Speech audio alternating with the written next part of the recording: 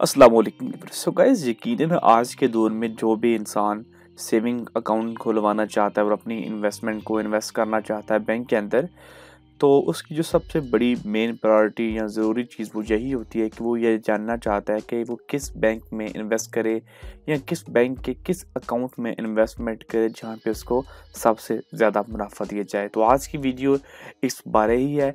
मैं आपको इस वीडियो के अंदर तीन ऐसे अकाउंट्स बताने वाला हूँ जिनके अंदर आपको मुनाफा जो है वो बाकी तमाम बैंक अकाउंट्स की बनस्पत ज़्यादा दिया जाता है और आपको मुकम्मल तफसीलात से भी आगाह करूँगा और एंड पे आपको ये भी बताऊँगा कि ये सूद के ज़ुमरे में आता है या नहीं आता है। तो आपने वीडियो को पूरा देखने ताकि आपको हर चीज़ क्लियर कट पता चल सके। मैं आपसे कुछ छुपाने वाला नहीं हूँ कि जी, ये सूद नहीं है, ये फलां नहीं है। तो जो चीज़ होगी वो आपके सामने हकीकत में रखी जाएगी और आप मेरी इस बात का यकीन भी करेंगे एट द एंड तो वीडियो को आप लोगों ने पूरा एंड तक वॉच करना है।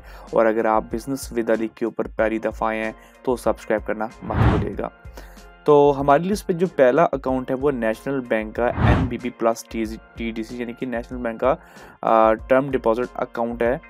और अगर इसकी मैं प्रोडक्ट डिटेल के अंदर जाऊँ तो इसके अंदर आपको जब एक टर्म डिपॉजिट सर्टिफिकेट है, जिसके अंदर आप तकरीबन 10 साल तक के लिए इन्वेस्टमेंट कर सकते हैं। रनिंग फाइनेंस आपको मिल सकता है 90 परसेंट यानी कि आप जो इन्वेस्टमेंट करते हैं, उसके अगेंस्ट यहाँ से आप लोग लोन भी ले सकते हैं। प्रॉफिट जो आपको मिलेगा, वो मेच्योरिटी पे मिलेगा तो इस अकाउंट का सिर्फ़ यही एक दिक्कत है, मसला है। अदरवाइज़ इस अकाउंट पे जो प्रॉफिट मिलता है, उसको कोई भी बैंक इसके नज़दीक भी नहीं है। एक तो होता है ना कि थोड़ा बहुत फ़र्क है तो कोई भी बैंक इसके नज़दीक भी नहीं आ सका। अट्रैक्टिव प्रॉफिट रेट है, जो कि मैं आपको आगे चल के बताऊँगा। पर्पज़ क्या हो सकता है? For those who high net worth individuals and corporate जो भी हैं, वो जो इनके पास अच्छे खासे पैसे हैं, वो उसके अंदर जब इन्वेस्टमेंट कर सकते हैं। कोई भी बंदा इंडिविजुअल इंडिविजुअल हो गवर्नमेंट का हो किसी एजुकेशनल इंस्टीट्यूट का हो कोई प्रॉपर्टी शिप वाला हो कोई भी हो वो इसके अंदर इन्वेस्टमेंट कर सकता है।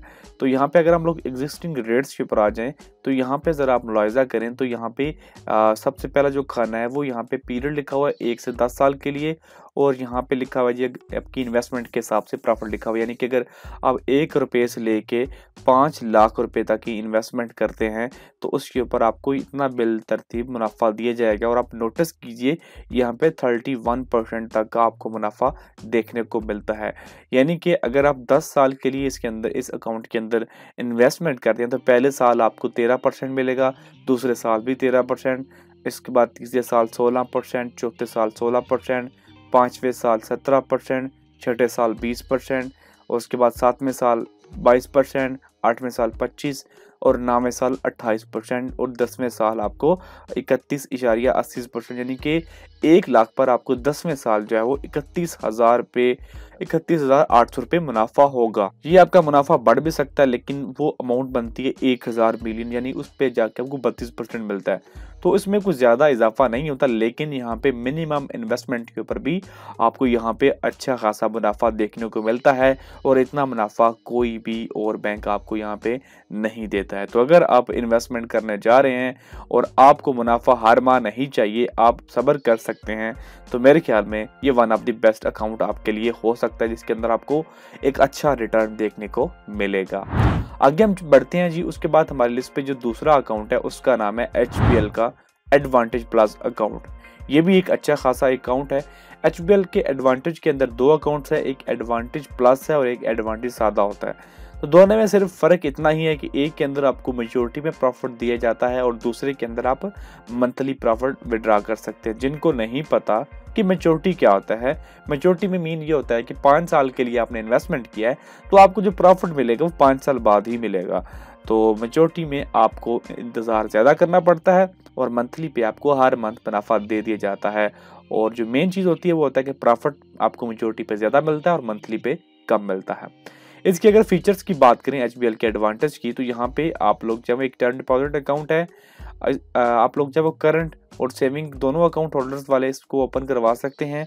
प्रॉफिट आपको मंथली मिलेगा इसके अंदर। इसमें मेचोरिटी वाला है, लेकिन मैं मेचोरिटी वाले की बात कर रहा हूँ, दोनों के फीचर सेम ही है। आप लोग एक साल से लेके दस साल के लिए इसके अंदर इन्वेस्टमेंट कर सकते हैं। पच्चीस हज़ार रुपये की इन्वेस्टमेंट से आप इस अकाउंट को ओपन करवा सकते हैं। तो अगर आप लोगों ने अप्लाई करना है तो इसके लिए आपके पास जो मिनिमम पच्चीस हज़ार रुपये होनी चाहिए। आपके पास HBL का अकाउंट होना चाहिए, ज़ाहरी बात है। और न्यू बैंक कस्टमर के लिए आपको एक अकाउंट ओपन करवाना होगा, तभी आप लोग इसके अंदर जो है वो इनरोलमेंट कर सकते हैं। अब हम इसके प्रॉफिट रेट की बात करते हैं। तो अगर प्रॉफिट रेट की बात की जाए तो एचबीएल का जो एडवांटेज अकाउंट है, इसके अंदर आपको मैक्सिमम 10 साल के ऊपर जो मेजोरिटी के ऊपर प्रॉफिट मिल रहा है, वो 18 परसेंट के हिसाब से मिल रहा है। यानी कि एक लाख के ऊपर आपको जो दसवें साल प्रॉफिट मिलेगा, वो अट्ठारह हज़ार रुपये होगा। तो आप लोग यहाँ पे अंदाज़ा लगा सकते हैं। अगर आप लोग एक मंथ के लिए इन्वेस्ट करते हैं तो आपको तेरह इशारिया साठ परसेंट मिलेगा।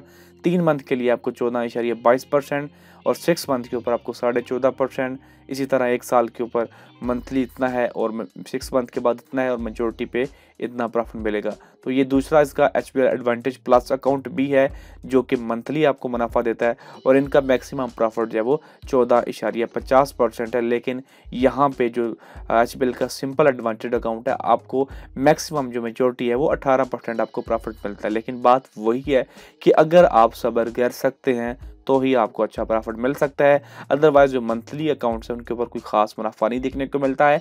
मैक्सिमम चौदह परसेंट तक जाता है, जो कि एच का है।